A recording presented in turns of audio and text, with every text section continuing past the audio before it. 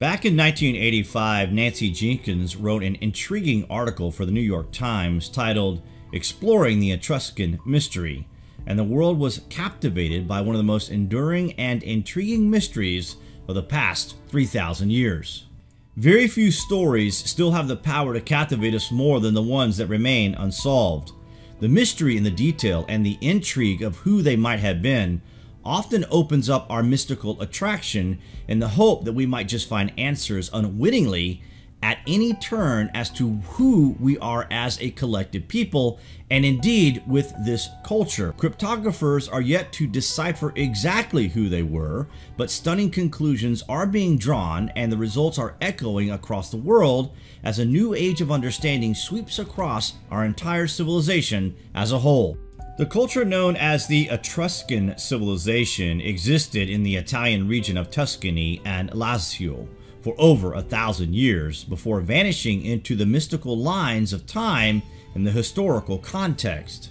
The fascination of these people not only lies in who they were, where they came from, and what exactly happened to them, but also in the stuff they have left behind, Earlier this year, French archaeologists unearthed an Etruscan tomb containing a skeleton and dozens of artifacts in Corsica, a rare discovery that could shed new light on the wealthy civilization.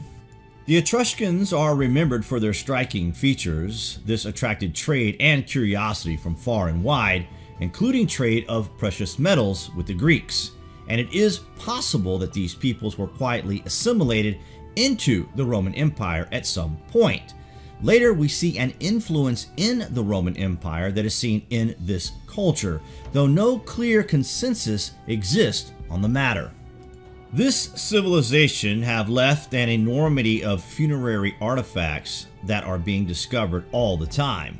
They also had a complex written language that is still mostly undeciphered to this day though this language is very sparsely found and they also left behind engineering marvels that were later adopted by the Romans and in fact in Turkey.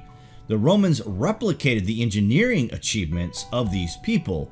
This shows signs that the brilliant engineering marvels of the Roman Empire may have been born here with this lost civilization of the Etruscans. New discoveries and developments in the last 30 years or so have done much to change our ignorance, yet the popular image of the mysterious and primitive Etruscans persist.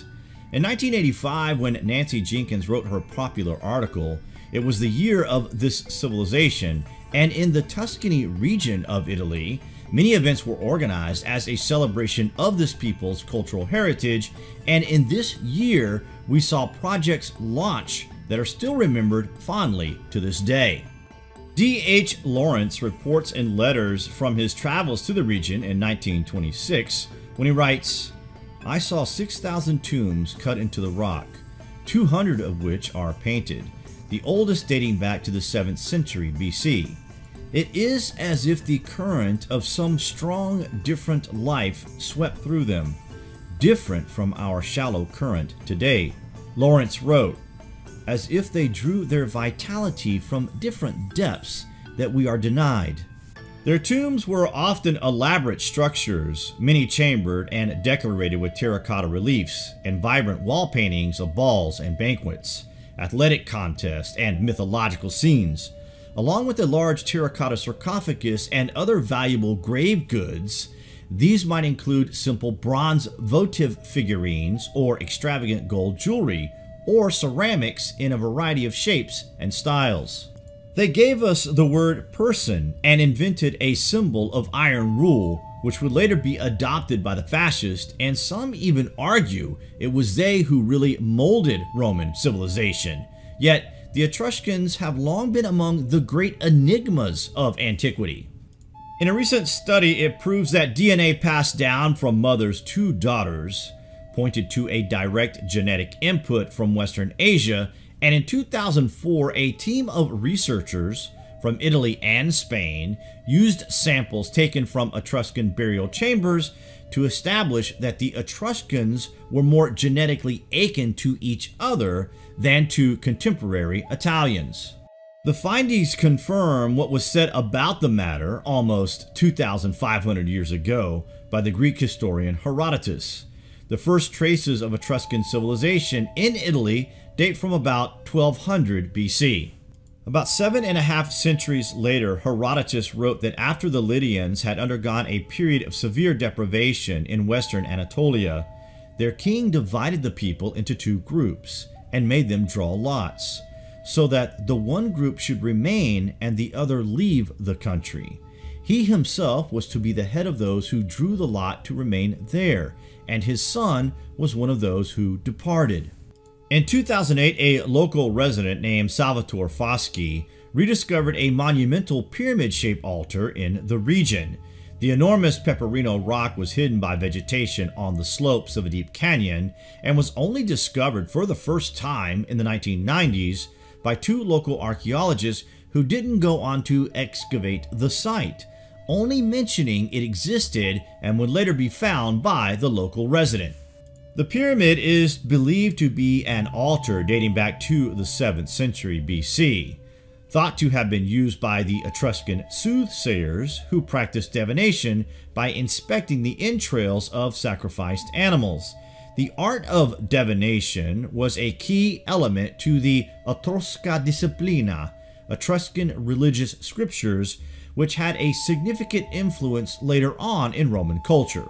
According to Columbia University's Advanced American Studies on Italian Culture, Daniela Maras, an Italian Academy Fellow, addresses the mystery of the Etruscans, which rests on three major issues attached to their perception by ancient authors their inscrutable origins, their unparalleled language, and their peculiar religion.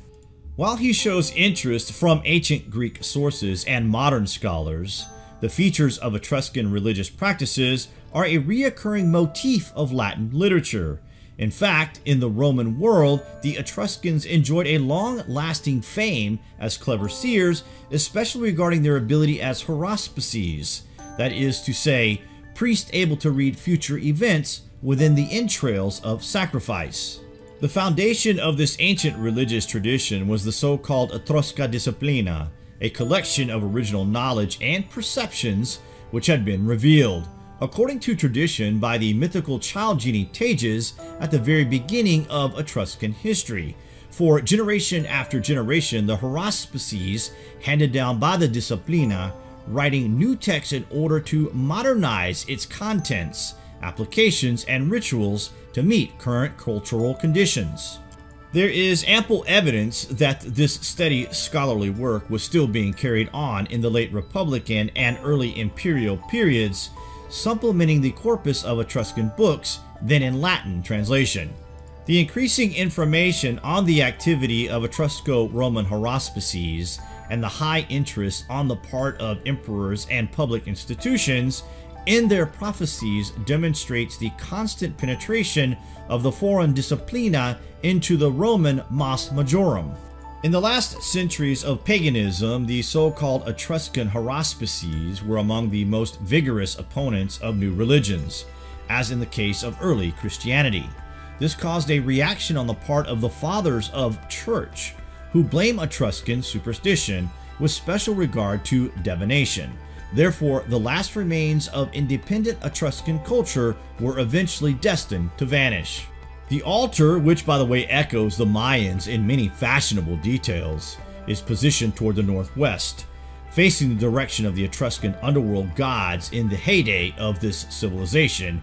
It must have represented a very important sacred site, though very little is known about it, and in fact, this lost civilization in general is a big mystery that is only now being uncovered and indeed their history rediscovered. The Etruscan pyramid at Bomarzo is the largest rock altar in Europe. According to several scholars, it could be used with an astronomical calendar. Astroarchaeology studies say the pyramid is linked to stars Sirius and Antares. When the discoverer of this place met this rock for the first time, he must have felt like those explorers who discovered temples and houses in the jungle. From his words emerges the story of an object hidden by large roots and vegetation that had to be removed with great care to permit the extraction of the rock, with much love and respect for the place. It has a magical charm which also fueled by the mystery that still surrounds this people, and all those who today come close to their artifacts do so with great respect. What do you guys think of this lost and great civilization? Comments below, and as always, thank you for watching.